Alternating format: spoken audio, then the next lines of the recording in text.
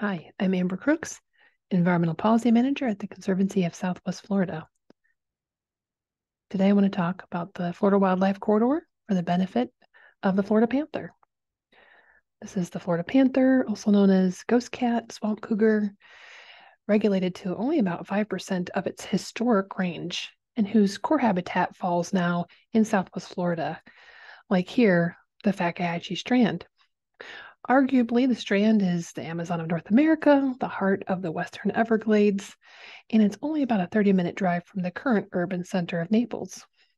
This here is the old logging tram where, after tons of early morning hikes and a lot of finger crossing, I saw my one and only panther, which is a pretty significant sighting for a population of only about 120 to 230 adults and subadults left in the wild once feared extinct and perhaps reaching a low of only about a dozen or so, Tale of the Panther is a long one and one that is still being written.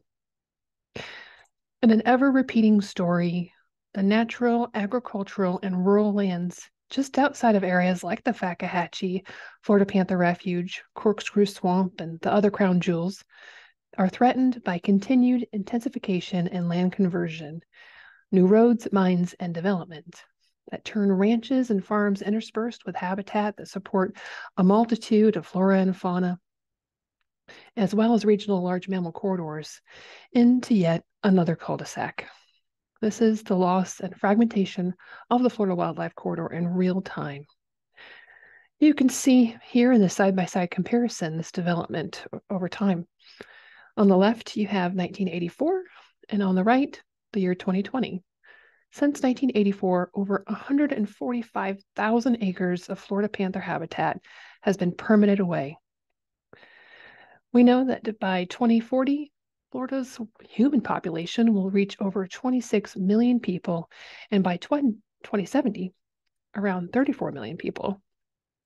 In Southwest Florida, our five county area, we will add another 1.1 million people by 2070, essentially doubling our current population.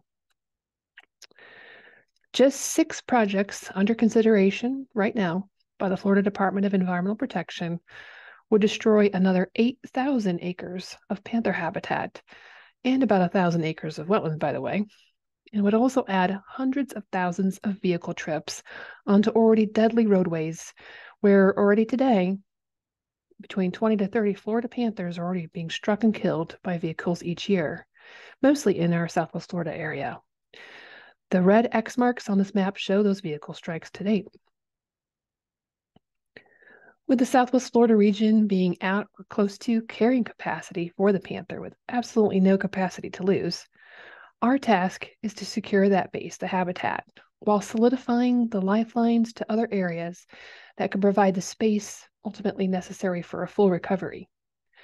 The first order or tier of those linkages are within Southwest Florida essentially to link Eastern Collier and Hendry County to places like Babcock and Fish Eating Creek.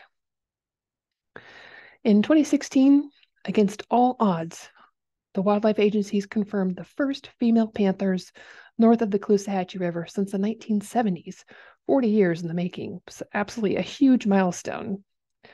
Yet everything is always two steps forward, one step back, as just a few months ago, two of those known females north of the river were killed by vehicles in Glades County. However, one thing that this tells us is that females, um, you know, north of the Caloosahatchee River and into South Central Florida is possible. We know that males, male panthers, as far north as Georgia are possible.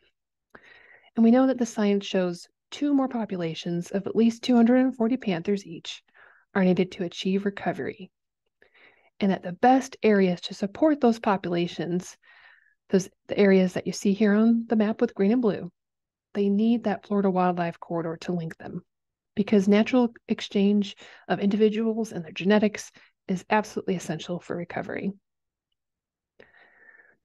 What we need now is a resolve to ensure that as Florida continues to develop, that we are forward looking and making the decisions and commitments to provide safe passage across this landscape build it and they will come.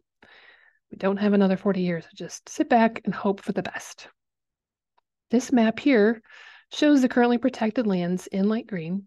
And in the dark green, you see the Florida Wildlife Corridor, which again is our best shot to get the uh, protected Florida panther linkages that we need from Southwest Florida to up and over the I 4 area And you see here on red, Interstate 4. So what you see here is my colleague and I donning a hard hat and a safety vest. We've stepped just moments before this picture is taken onto the sand where bears and panthers might also leave their footprints in the future. This here is a large wildlife crossing structure that was under construction near Disney World, of all places, on Interstate 4. Planning ahead for large wildlife to be moving through this area. This crossing location you see here at the yellow star represents just one of the limited spots where wildlife have any hope of safe passage across this major roadway barrier of, of Interstate 4. And I just want to point out that this was a map from a study done by the Panther Recovery Implementation Team Transportation Subteam, who I was honored to serve with for many years. And this subteam produced a report. You see the citation here. And they found that only uh, about five areas along I 4 remained with some chance of permeability if we act now. But coming back to Southwest Florida, can the bears and panthers from the Everglades ecosystem even reliably get there? In Southwest Florida, there are already many roadkill hotspots that they would first need to traverse. Some of these spots you can see here on the map uh, in red, orange, green, and blue.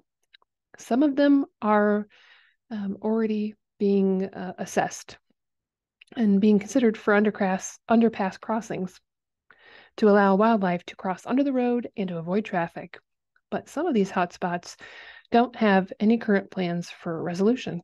I just want to point out as well that this is another map from the transportation subteam, and this report is actually updated annually, and it's intended to show the worst the worst roadkill road segments. And additionally, we have this third report that could be very helpful, just being finalized uh, um, in December of 2022.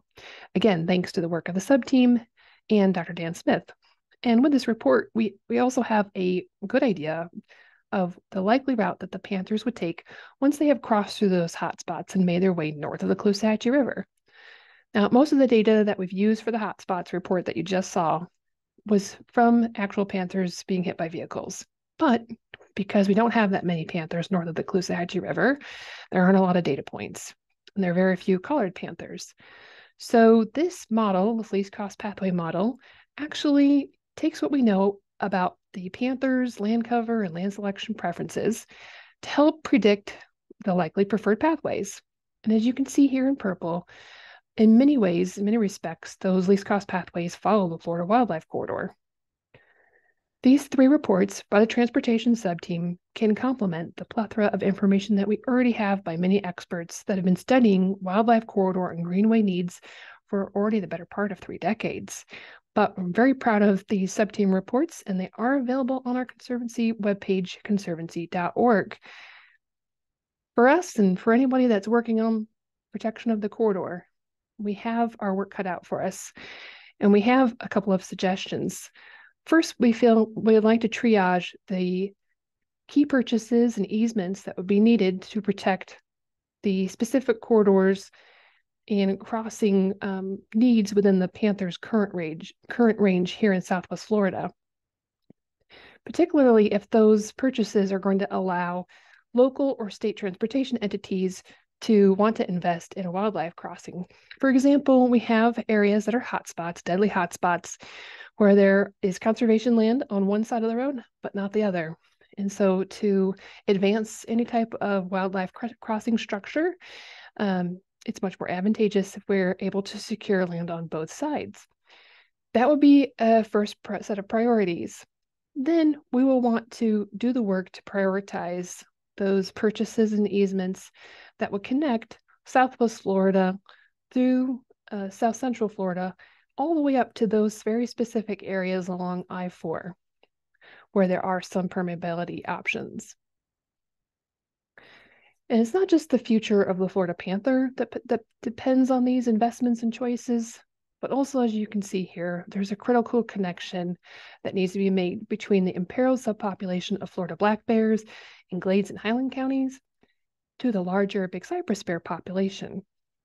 The Glades Highlands subpopulation of black bear is not viable in the long term. It may be in decline, and there may be only about 100 bears in this area. And so, by securing a corridor that would allow genetic flow between these two subpopulations of black bear, we may help fight against the local extirpation of bears in the Glades Highlands area. We have so much at stake in making a secured Florida wildlife corridor a reality, not just for bears and panthers, but a place for recreation and watershed protection, green infrastructure that can help shield us when the next storm hits, and a literal and metaphorical connection to wild Florida.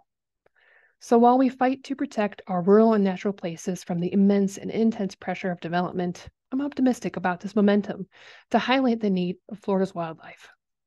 And it comes at the right and necessary time, watershed moment, when time is of the essence and the connections that will determine the future of Florida's wildlife, namely the panther, could be foreclosed on in the short term. The handful of development projects I mentioned, they may be decided in the next year. And the tight margins to secure the corridor through a rapidly growing central Florida is simultaneously dwindling. What happens next has the potential to seal their fates or, alternatively, the opportunity to preserve and recover Florida's wildlife. Thank you.